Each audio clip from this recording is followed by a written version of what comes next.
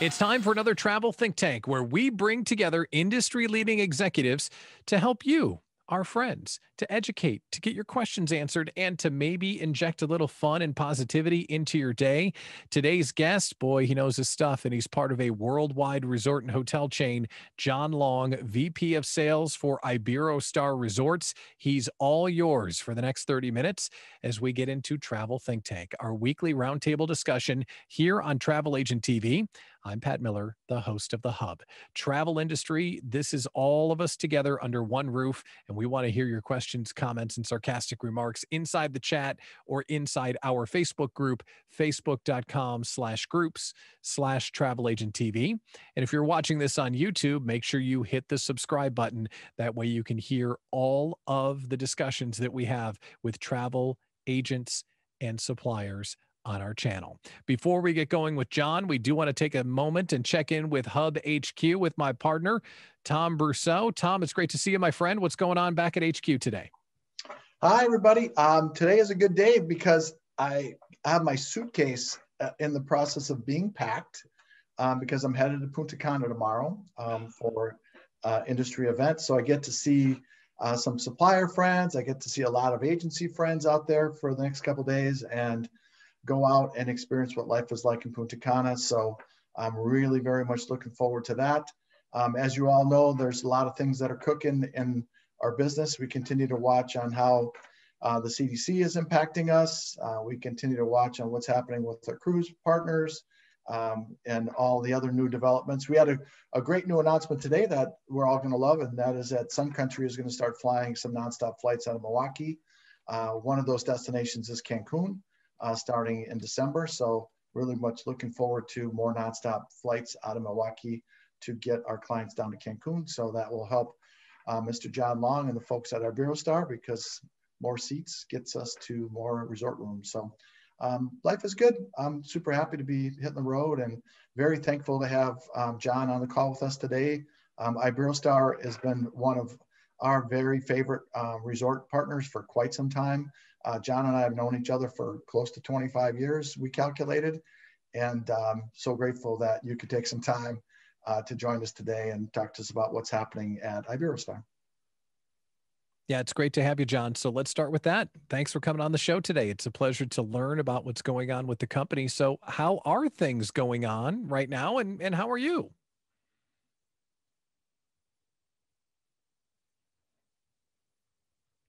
I thought you were going to unmute me. Sorry about that. no worries. I'm used to somebody controlling my life for me sometimes. so thanks for that introduction, Tom. I appreciate it, Pat. Thank you so much for letting me be here with the folks. Uh, interesting uh, group here. I'm so uh, a little bit intimidated with some of the folks that are participating today. So I hope they're not too sarcastic with the questions and everything. but you know, doing doing really doing really well. Um, traveled a few times since all this nonsense happened. Uh, Tom, you mentioned 25 years. It'll be 25 years that I started with Iberostar on June the 15th this year. Wow. So almost 25 years. We met right after that. So right, right around that same time. Um, but I may have known you from a previous life. So it's, it's because uh, I was working for another company five years before that. So anyhow, um, it's it's been you know our for those who don't know Iberostar, we've been around for about 60 years.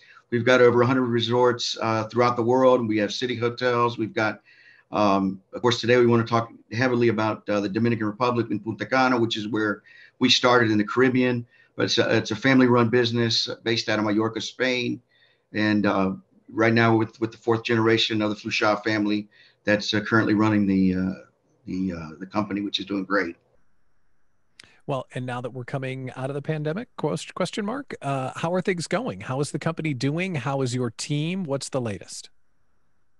Well, on the positive side, the Caribbean is doing great. Mexico um, is, is doing fantastic and has continued to do great. And a lot, of course, that's been um, mainly due to the travel agents that have gotten out there and really gave reassurances to the customers that uh, it was the right place for them to be for their um, you know, explaining all the protocols and experiencing them themselves. That we'll talk about that in a minute. But um, you know that, and we uh, we started seeing now Jamaica take off as well. We've been able to open up now our third hotel in Jamaica because we had we have three properties in uh, Rose Hall, Jamaica, and of the uh, three, we had two that were available and they were open, and now we just opened the third. In, in May, it'll be opening up, and of course, in the Dominican Republic in Punta Cana, um, we opened up the Iberostar Dominicana just recently, uh, mid mid April, and in Mexico, we have all of our properties open. So very excited about that. And um, currently, what we're struggling with now is making sure that we get Europe up, up and running, because all of the great success that we're having in the Caribbean and Mexico, uh, uh, you know, Europe, of course, it has to balance it out so it doesn't drain it. But and that's sort of what we've been dealing with for the last year, without a doubt. You know, uh, being a European company has its strengths and it has its weaknesses. But in, in this case, it's definitely been a challenge for us. That's but thank goodness that everything's gone great for us in Mexico and uh, in Jamaica and in the DR because that's really helped helped the company overall.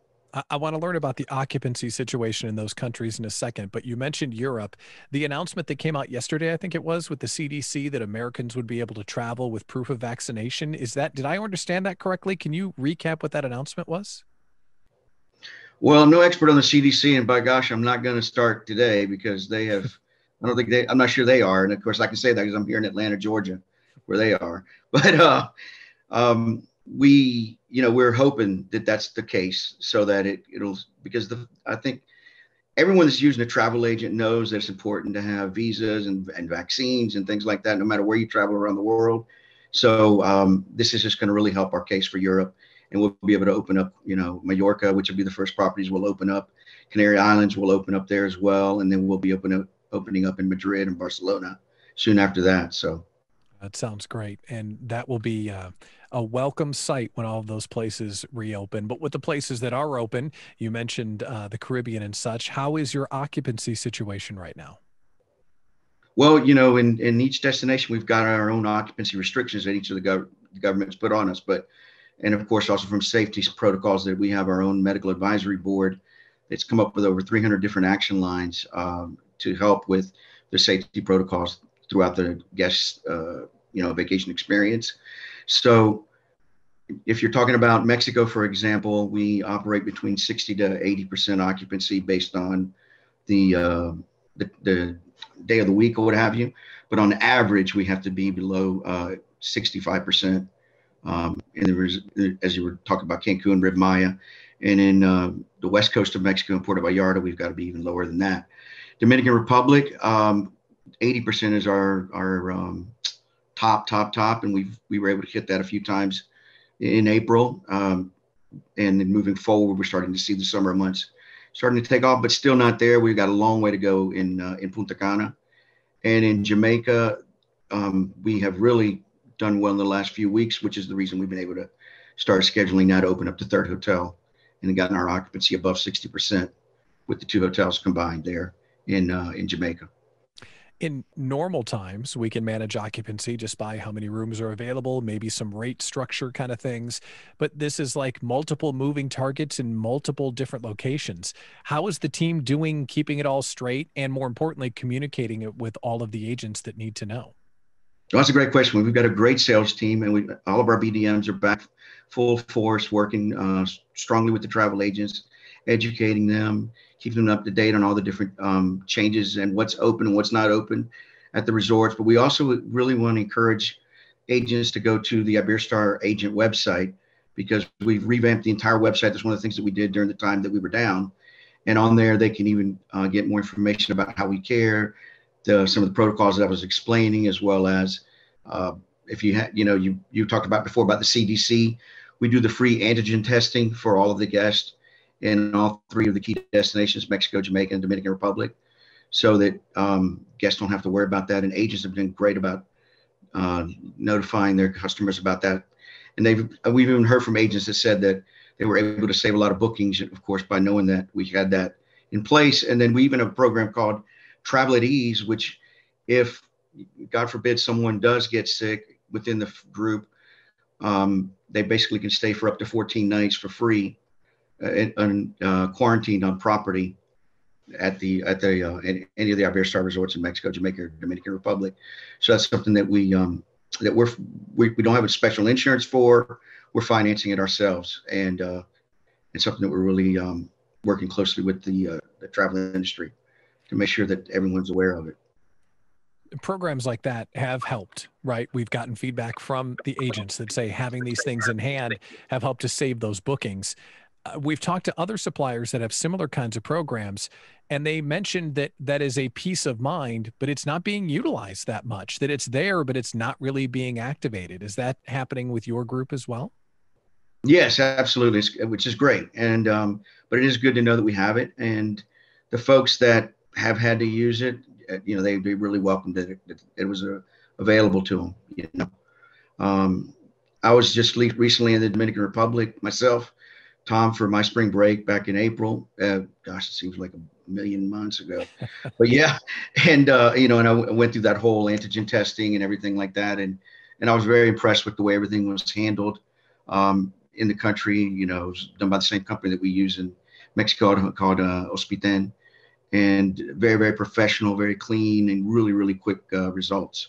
Which again, going back to peace of mind, if if anybody has any apprehensions, they don't have to worry about that because because they do get that confirmation right away and being able to confidently explain how easy it is to have the COVID testing for the guests before they come back to the U.S. Thank you for sharing that, Red. Uh, Red is in the comments and she's sharing how valuable that's been uh, for the service that you're providing.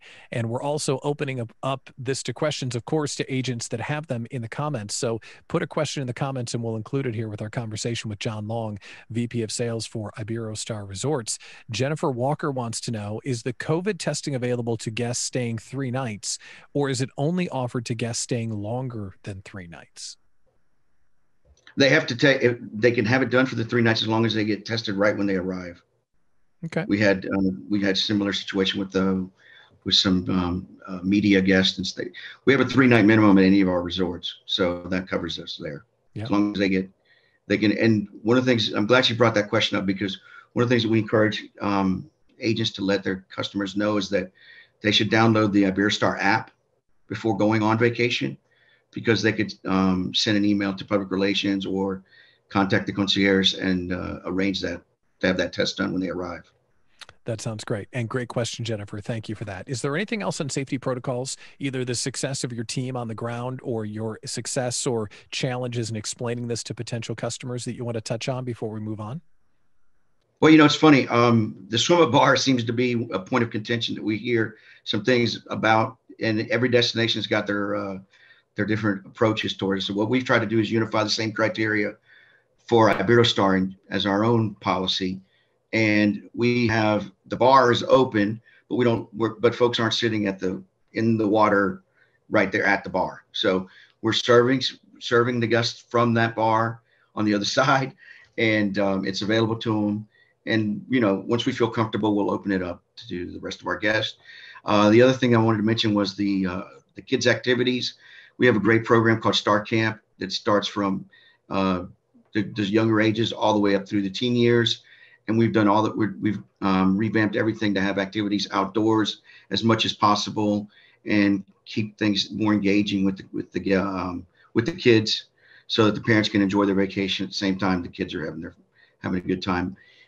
You know, once we get through this, these some of these protocols, these uh, safety apprehensions, I guess you will, we will uh, be able to reopen up the actual physical location of Star Camp, which is amazing. And you'll see some of the video um, where you'll be able to see what Star Camp uh, entails and what it looks like. Boy, won't that be a happy day when we can have a conversation with our clients about just how amazing the resorts are rather than COVID testing and return flights and all of this mess? Yes, absolutely. Ah, it'll be great. All right, so let's move on and talk about what's hot, right? So, in the lineup of Iberostar, you mentioned some of the countries are hotter than others. Like, what are the sales trends right now and what's popping inside your collection? Well, the Iberostar Selection Bavaro is one of the resorts that we really, really want to talk about today because we we did um, that was one of the first properties we opened up in the Caribbean over 26 years ago, 20 actually 27 years ago. And um, but prior to uh, the end of 2019, we completely shut the the uh, resort down and rebuilt all the rooms, uh, redid all the restaurants, added new restaurants, rebuilt the whole beach area, the pool areas, and of course complemented it with the Star Camp. And and really just it's it's an amazing property and we really didn't get a chance to to showcase it uh, because the minute we reopened the property, the uh, the pandemic hit last year and we had to close it down. And then um, last year, as you know, Dominican wasn't the strongest of sales, but now it's starting to come on, and we really, really encourage agents to get down there and uh, and see what the Iberostar Bavaro is all about. And I think um, when you see the video that uh, that that we've um, we've shared with you, it would be great to really see. You can see uh, this is a brand new video that we just shot like less than uh, three weeks ago. And what's uh, what you're going to see when you watch this video also is about um, the way we've in, in, incorporated our whole wave of change movement, which is extremely important because when you know people talk about sustainability and doing things for the environment, you know it sounds nice. It can be a marketing message that some people, some companies use. Iberostar, we live it and breathe it, and it is being uh, led by the family including um, one of our vice chairmen. She's the uh, the chief sustainability officer, but um, our owner, Mr. Fluxà, along with Sabina Fluxà, our CEO, they have um, really instilled that as part of the DNA DNA of the company, and um, it, you know it, it, goes with the uh, everything from eliminating single-use plastics, which we did that in 2020. Um, and anybody who's had the experience of going to an Iberostar Resort, they've been able to, to see that firsthand. Where, we, for example, at the Iberostar Bavaro, we've got these amazing um, water filtration systems that's called um, the Vero water system, which is one of the world's most sophisticated um, water purification systems that's used in three-star Michelin restaurants, just to give people an idea of you know of what it um, what it entails. And then of course we have um, coastal health, which is extremely important. You know, over 80% of our properties are either next to a mangrove or on a beach somewhere. So coastal health, everything on how we work with ecological systems where our properties is really, really important to us. So um, the other thing is what's uh, is the marine uh, the marine life. So everything has to do with sustainable fishing is extremely important for us as well. So all of these things are part of a, a movement that we call How We Care movement. And you can go to the website and can see the, the Wave of Change movement, which is, and How We Care is incorporated in that uh, Wave of Change movement, which was something really, really uh, tricky for us when we were doing the all the safety protocols and things like that. How we were going to be able to um, do that and at the same time not cut costs. In fact, we ended up having to invest more money um, but of course we had to be sustainable at the same time find ways to be more carbon neutral and um, and of course use ingredients and, and products and things like that that were also going to be uh, but again not sacrificing on quality. So if you don't mind just cue up the, the video here and i'll show you a little bit about the uh, coastal health of the iberostar bavaro um, resort. Okay there we go iberostar bavaro for your pleasure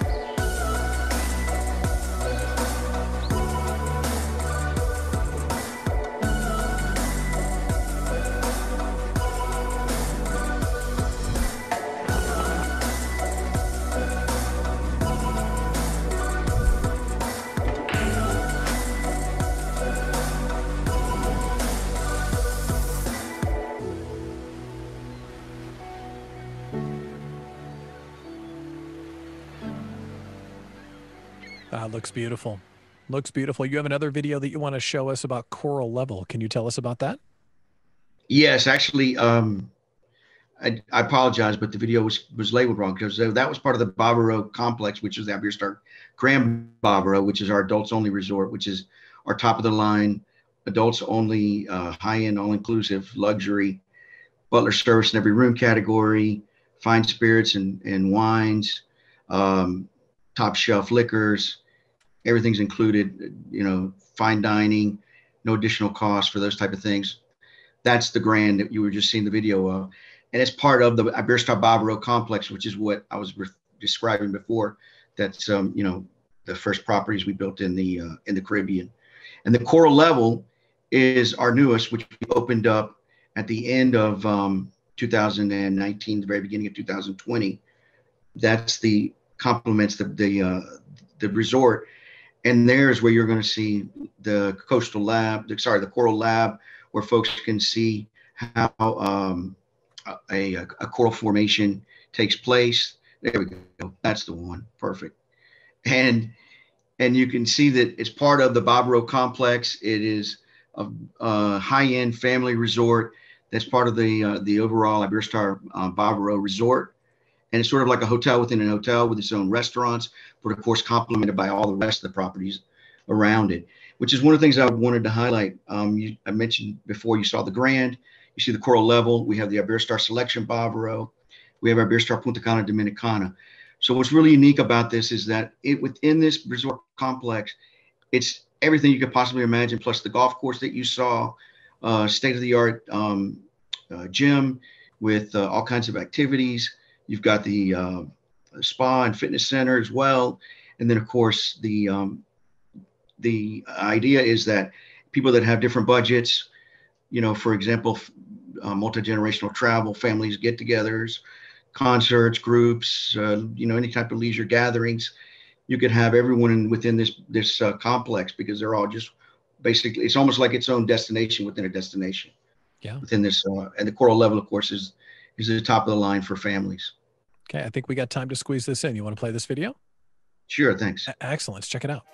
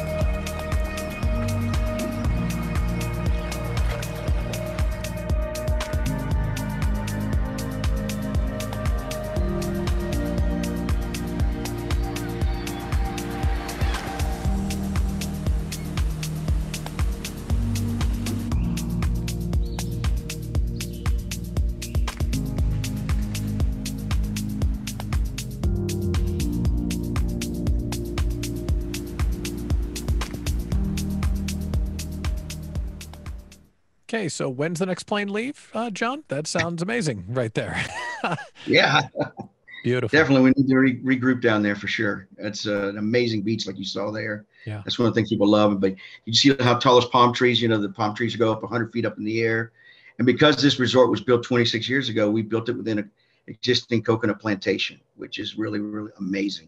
Yeah. And because of our whole wave of change movement, it you know we continue to preserve the the ecosystem around it. So it's very very unique and uh, people love it a lot What's neat about coming on this show is you're talking directly to travel agents who are working every single day. So, any current promos or agent resources that you want to highlight before we wrap up? Yeah, absolutely. So, um, the particular resort that we were just looking at, we've got um, a kids free promo with uh, no blackout dates for uh, the remainder of this year.